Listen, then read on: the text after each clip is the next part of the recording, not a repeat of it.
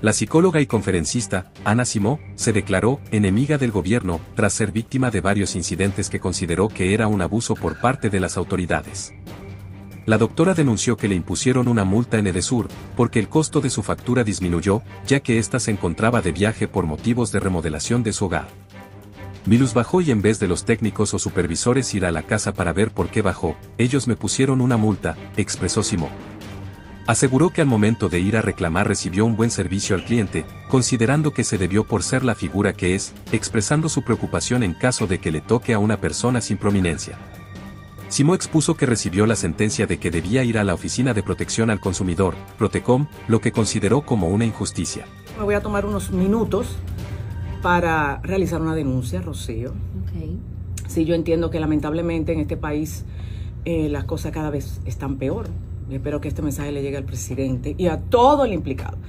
Hace unos meses yo tuve una remodelación en mi casa, por lo que yo salí de mi casa por un tiempo bastante prolongado. Eh, mi luz bajó. Y en vez de los técnicos, los supervisores, lo que sea, ir a la casa a ver por qué bajó, no, a mí me pusieron una multa. Yo fui hace unas un par de semanas atrás a averiguar por qué de mi multa, porque esa cantidad bastante considerable de dinero me dijeron que realmente había un cambio de la luz. Claro, si no está viviendo nadie, no hay ningún aparato eléctrico prendido, claro que tiene que bajar el consumo. Y ustedes debieron haber ido a averiguar. No, no fueron. Simplemente me pusieron una multa. Yo fui, me atendieron muy bien, pero no puedo decir que no me dieron un buen servicio al cliente, pero me imagino que fue por ser la doctora Simón. Me hubiera sido un Juan de los Palotes y se jode ahí mismo. Resulta que ayer recibo la sentencia de que no, ellos tienen la razón que ahora yo tengo que ir a Protecon. Yo tengo que ir a Protecon porque ustedes no hicieron su trabajo. Es decir, yo tengo que pagarle a ustedes su negligencia. Entonces yo me pregunto, ¿cuántos dominicanos no están pasando esta barbaridad, señor presidente? Estamos hartos. Entonces te voy a contar lo último, ayer mismo. A mi mensajero le roban su motor en el banco, fuera de un banco. Tiene GPS el motor. Automáticamente él va al destacamento más cercano porque me asesora un policía, me dice, no, él tiene que ir al destacamento más cercano donde está ahora mismo el motor, que era en... Ese destacamento se llama María Auxiliadora. Le dijeron, siéntese ahí. El celular marcaba dónde estaba el motor. No le dijeron los dos policías, que tengo sus nombres, me lo voy a reservar. Pero voy a hacer un lío si esto no se resuelve. Le dijeron, siéntese ahí. Y ellos vinieron con el GPS en la mano. ¿Y el motor? Ah, no, es que ahora ellos tienen que hacer un papeleo en el DICRIN y en muchísimos sitios para que me desmantelen el motor. Yo no quiero decir lo que yo pienso de esos policías. Porque ¿por qué no vinieron con el motor?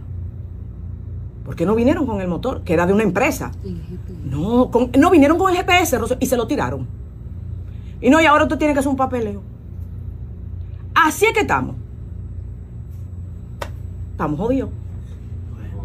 Esto se jodió. Porque así es que tú estás, que tú no puedes ir a donde la policía. Porque la policía lo que te dice es, no, siéntese ahí. No es que te tomaron la denuncia. No dieron mucha vuelta, se montaron en su vehículo, se fueron, mi, mi, mensajero se quedó ahí, ¿verdad? Porque eso fue la orden que le dieron. Y ellos vinieron con el GPS en la mano. Hay que tener los timbales bien puestos. Señor presidente, jefe de la policía, y todo el implicado.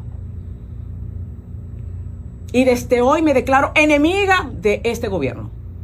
Estoy harta de sus abusos. Del abuso de toda la gente, de todo el que está alrededor suyo, que quiere lucrarse y no está por ayudar a la población. No puede ser.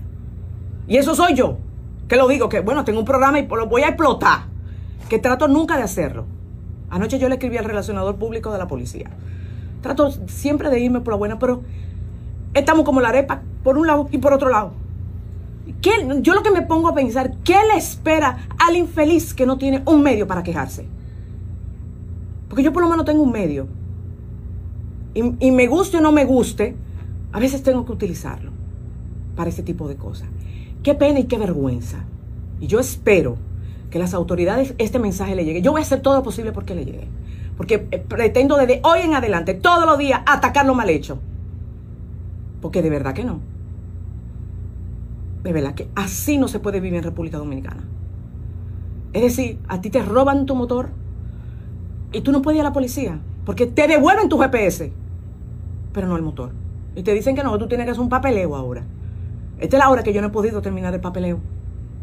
Teniendo abogado y moviéndome como me tengo que mover. Ya ese motor está desmantelado hace rato o ese motor ya está usando para atracar a otra gente. Igual, Edesur, ustedes son unos malditos ladrones. Esos son ustedes, unos ladrones. Que los que sí pagamos la luz y queremos hacer la cosa bien, ustedes están abusando. Y yo no voy a pagar ese dinero. Yo voy a ver. Porque ustedes sí son buenos para cortar la luz, automáticamente uno no pague. Pero yo pagué mi luz todos los meses que estuve fuera de mi casa. Pero ustedes ninguno fueron a ver por qué mi luz había bajado. Ah, no. Lo más seguro es que ella se la está robando. Y me pusieron mi multa. Hay que tener mucho timbales para hacer eso. Y lo peor es que yo pienso en todos los dominicanos que le está ocurriendo esto, porque cuando sube la luz ustedes no van. Ustedes no van cuando sube la luz, pero cuando baja sí.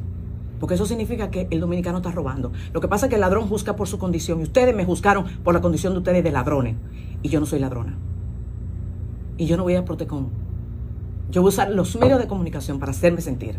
Porque lo grande del caso es que todo el que yo le hablo del tema me dice, no va, no pierda tu tiempo yendo a Protecon, que ahí no van a hacer nada por ti wow, qué pena saber cómo está mi país. Por una mala gestión. Muy mala gestión. Porque hay que tener mano dura.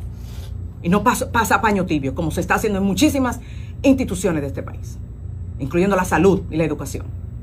Qué vergüenza siento en este momento del gobierno que me representa.